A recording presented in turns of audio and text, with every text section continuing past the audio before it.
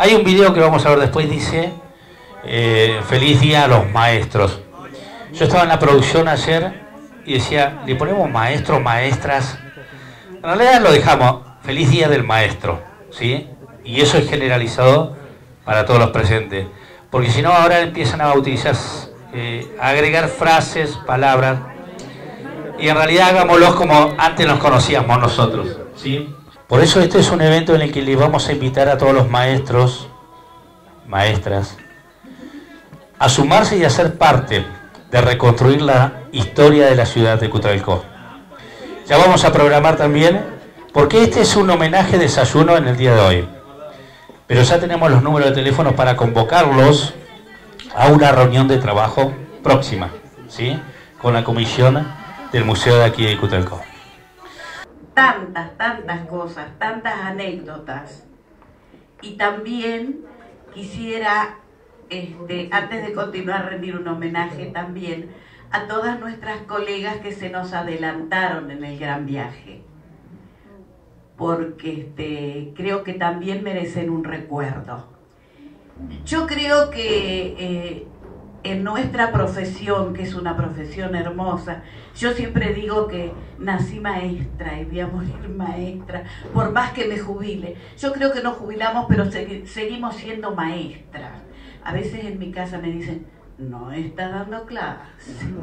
Qué bueno, a uno le queda el, ser mandón por ahí, ¿no? Bueno, este, pero siempre pienso que nuestra labor este, si bien nosotros le hemos enseñado a los niños, ellos también nos han enseñado y nos enseñan todos los días, desde su inocencia, desde sus alegrías, desde sus tristezas, desde sus carencias.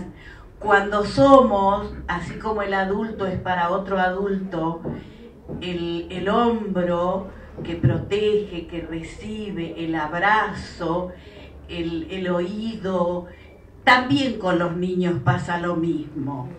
A veces cuando se acercan y se apoyan, y bueno, es porque están buscando un refugio, porque quieren contar algo, porque nos explican algo y en eso que nos dicen, cuando se nos nubla la vista por lo que estamos escuchando, también aprendemos, porque nos damos cuenta que hay dolor y que tenemos que buscar la forma de aliviarlo, o cuando a lo mejor no todos los días hay un trozo de pan sobre la mesa, o cuando mamá está triste y yo no sé qué le pasa, Señor.